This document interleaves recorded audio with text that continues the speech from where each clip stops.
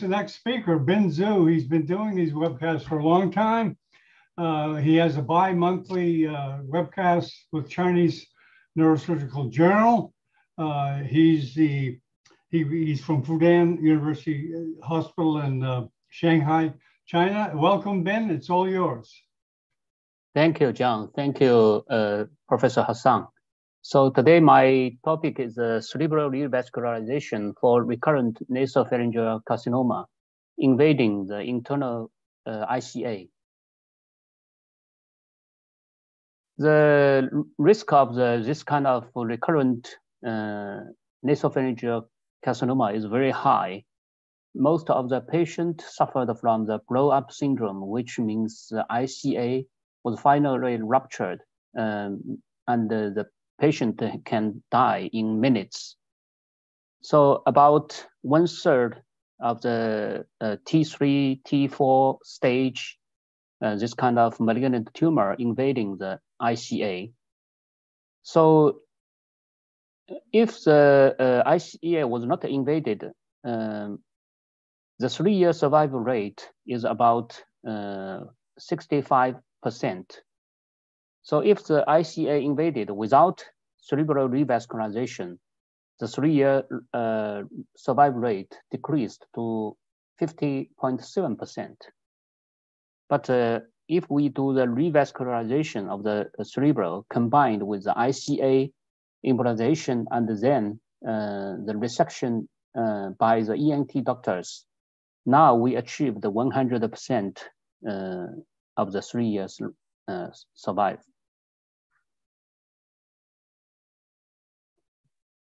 For this kind of uh, ICA invading, if the uh, rupture, if the ICA was ruptured in intraoperatively, so we can use the covered stent to repair the ICA immediately.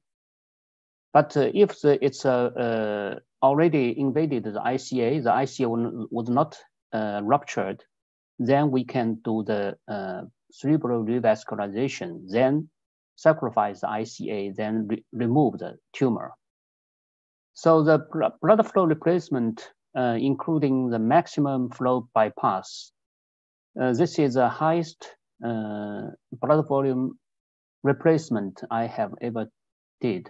Uh, the ECA saphenous vein, 2M2 segment um, direct bypass combined with two STA MCA.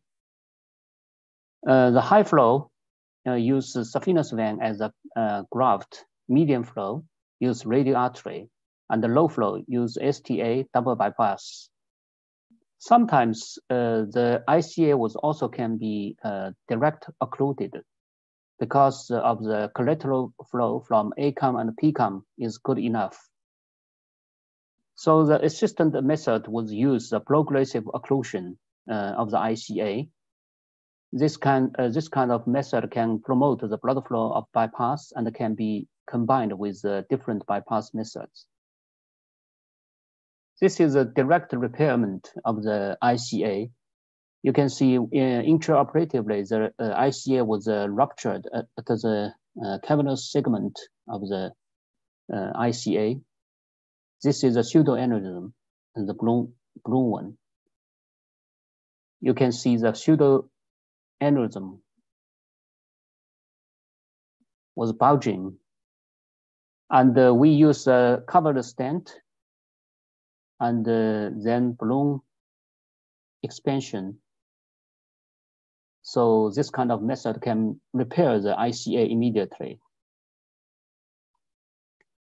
Uh, if uh, we have the plan to re, uh, cerebral revascularization, the donor vessels, including saphenous vein, uh, radial artery, and the superficial temporal artery.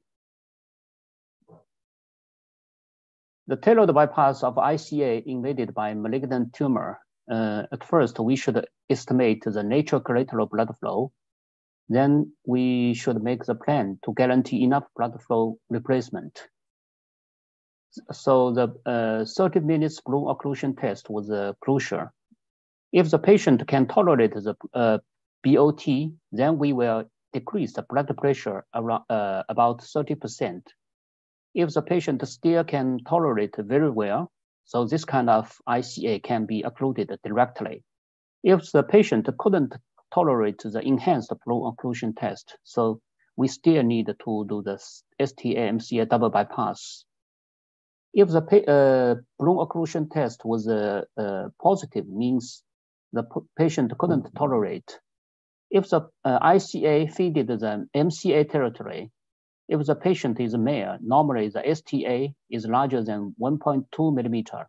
So this kind of patient, uh, this kind of uh, condition, we use double STA MCA bypass can replace the MCA territory very uh, uh, successfully. If the patient is a female, normally the STA was uh, not so uh, big, so we still need to do the radioartery graft. If the patient's uh, ICA feeded not only the MCA, but also the same side ACA territory. So this kind of condition, we need, uh, we definitely need the radioartery as a graft. If the uh, ICA was dominant side, not only feeded the same side hemisphere, but also the contralateral ACA territory. So this kind of uh, condition we will use saphenous vein as a graft. If the double ICA was all invaded, so this kind of patient, we will use the saphenous vein combined uh, double STA MCA bypass. Sometimes we also use a progressive occlusion. So this is a maximum flow bypass. Both ICA were invaded. So we should replace the blood flow for both ICA territory. Uh, also means uh, both side hemisphere. So you can see the uh, tumor invaded both side ICA. This is a, a balloon occlusion test before surgery. You can see the ACOM was good, good enough. And uh, so I use uh, uh ECA to saphenous vein to M2 segment direct bypass and combined with uh, STA M4 double bypass. So after this kind of uh, direct bypass, then we immediately sacrifice the both side ICA. You can see the uh, the bypass blood flow was so good and it feeded the both side hemispheres.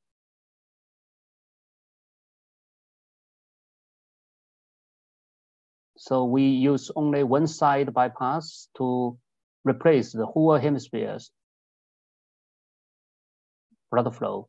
And the right hemisphere also uh, got some collateral blood flow from posterior circulation from PCOM artery.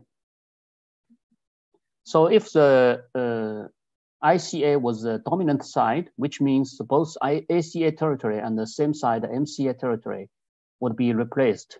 Uh, so this kind of condition, we will use uh, saphenous vein, you can see like this patient use saphenous vein to replace the dominant side ICA. So if the ICA was only feeded the same side uh, hemisphere, so this kind of condition we will use sometimes if the patient is a female, we will use saphenous vein. If the patient is male, normally the uh, radioartery was enough like this patient, uh, she is a female patient, so the saphenous, uh, vein was not so uh, large, but already replaced the whole hemisphere. And if the uh, if the ICA was only feeded the uh, same side MCA territory, so this kind of patient we will use the radial artery as a graft you can see the radial artery graft replace the MCA territory immediately. And this is the radio. You can see this is a M, M2 segment. Then cut a oval shape stoma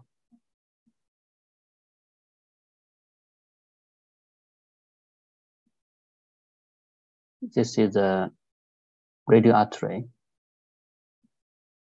We make the stoma of the intraoperative, uh, in, uh, intracranium at first, then the ECA to radial artery.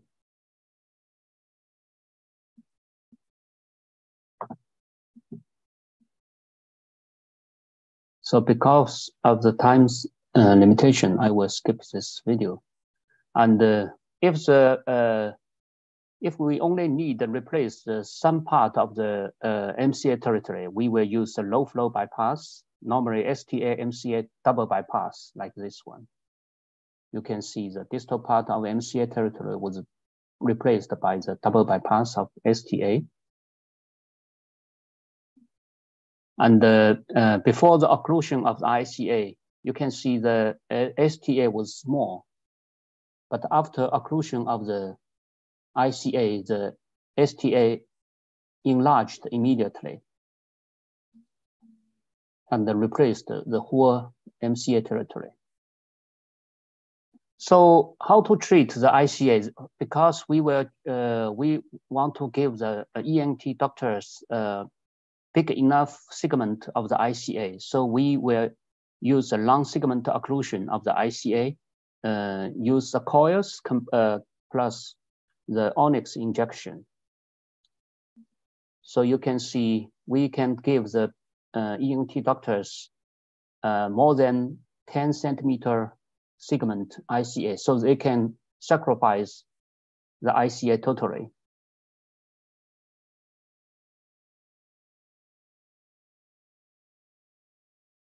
This is after the bypass and the sacrifice of the ICA. Uh, actually, we also can use the uh, progressive occlusion of ICA in seven days.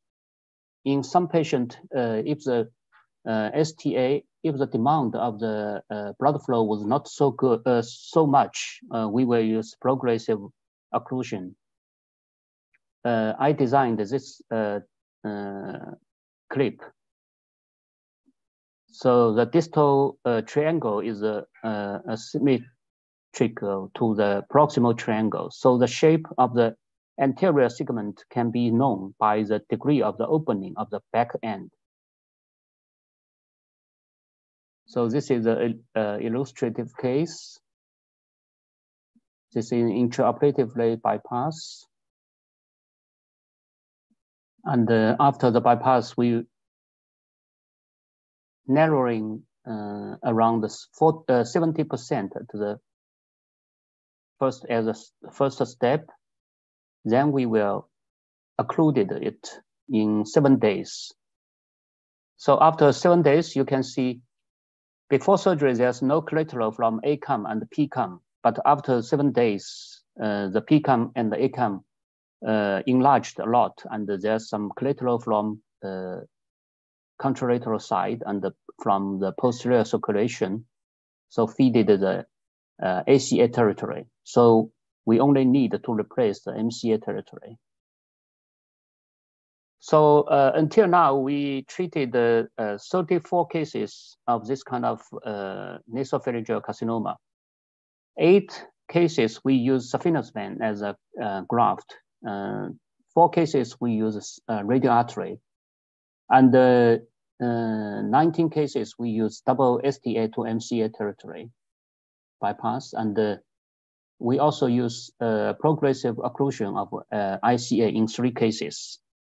Until now, the, the three years survival rate was 100%.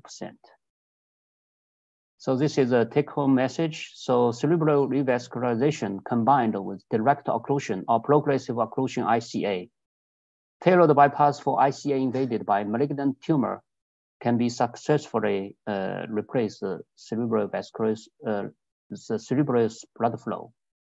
And the combined uh, ICA occlusion, then we will give the uh, ENT doctors uh, the opportunity to totally remove the uh, malignant tumor and then the patient to have a better prognosis. Okay, that's all for today. Thank you. Thanks a lot, uh, Defined, for uh, excellent presentation and the great work that you have uh, developed.